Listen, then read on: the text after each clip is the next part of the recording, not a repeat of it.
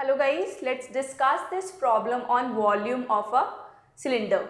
So here this problem says a hollow garden roller which is 63 centimeter wide with the girth of 440 centimeter is made of 4 centimeter thick iron. Find the volume of iron. As this cylinder is or this roller is in the shape of hollow cylinder and hollow means it will have some thickness and this thickness has been given to you. This thickness is 4 centimeter. Now let's write down all those things which have been given to you. You have been given the wideness of this roller which means the height of this roller. So the height of this roller is 63 centimeter. And you know the girth. What is girth? Girth is circumference. Circumference of the one face. You can say either bottom face or top face. So here the circumference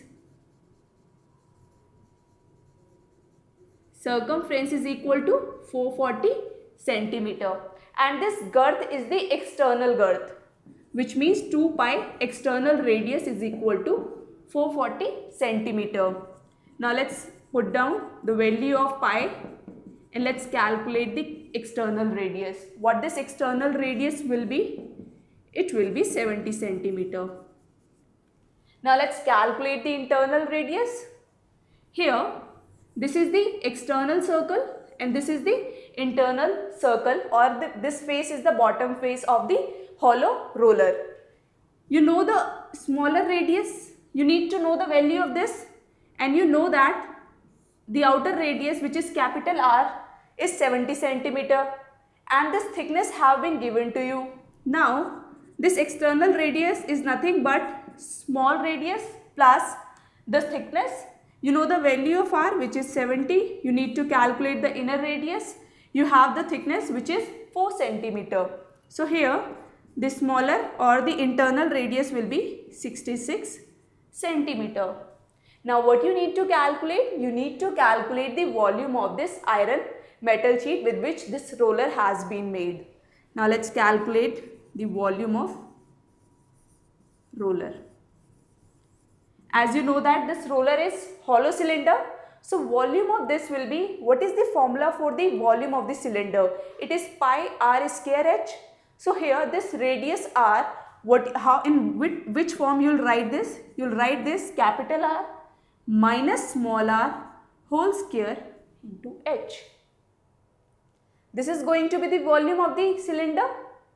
Tell me so no, this is not going to be the volume of cylinder. You cannot write this in this way. What you'll do, you'll calculate the volume of this hollow part and you'll calculate the volume of the external radius using the external radius. So you are not going to use this formula. Which formula you are going to use?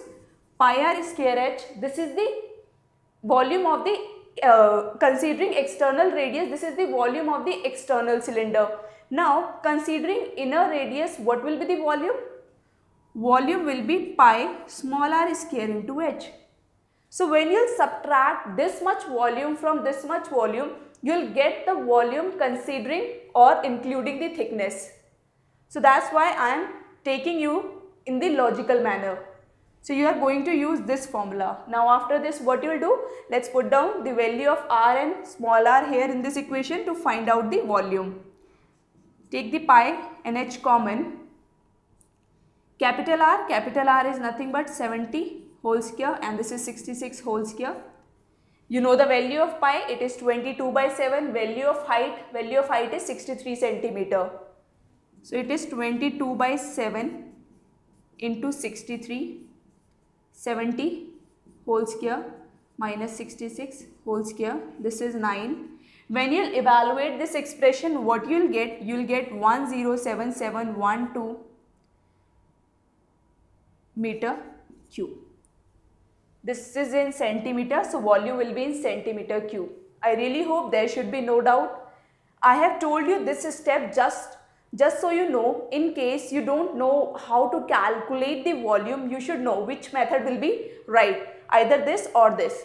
Because you know that hollow cylinder will be in the shape of this.